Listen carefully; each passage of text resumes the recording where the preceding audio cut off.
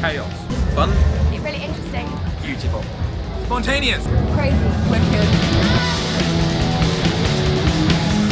Reading is just it's big, it's the festival to go to really. It's the best place to be. Right?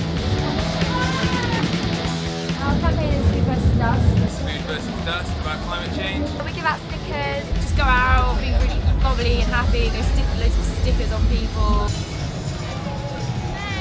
Just talk to people, have a chat. The way I've been explaining it is it's something that everyone's going to have a problem with sooner or later.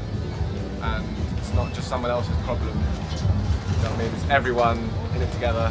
I just go up to people and ask them if they want their photo taken with giant fruit or veg, and that usually gets their attention, especially when you carry a nose team.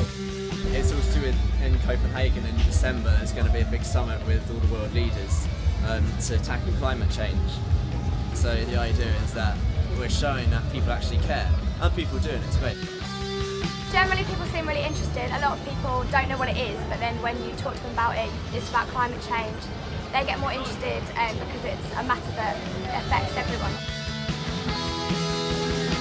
It needs to be stopped now, climate change. Today! Now! We all live on the earth, obviously, so we should take care of it, naturally. Like, our world is just